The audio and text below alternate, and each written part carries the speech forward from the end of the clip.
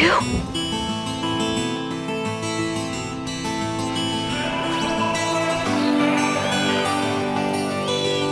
How far are you from the border? Be careful with the people that give you a ride. And and don't travel with someone you don't know. We love you, honey.